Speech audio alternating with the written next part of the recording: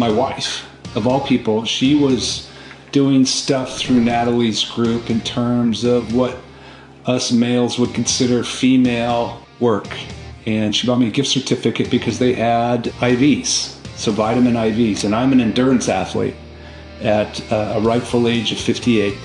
And so I do with Ironmans and triathlons and all those cool things. And that interests me.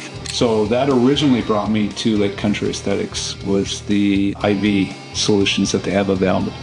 Why do I choose LCA for my treatment? First and foremost, I choose LCA because of Doc, Natalie, and Sid. I mean, you want to talk about two ladies who really give a shit. That's what it's all about. I've never had a a primary care physician, a nurse practitioner, or anybody know you on a personal level.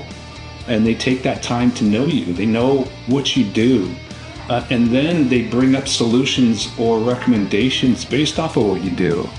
And so I started off with IVs and then I transitioned into facials and I transitioned into you know, some injections and, and supplements. And I can get my blood tested and my saliva tested and I can get monitored. It's, it's care. It's that they really care about the people they treat. That's why I keep coming back and why I came here.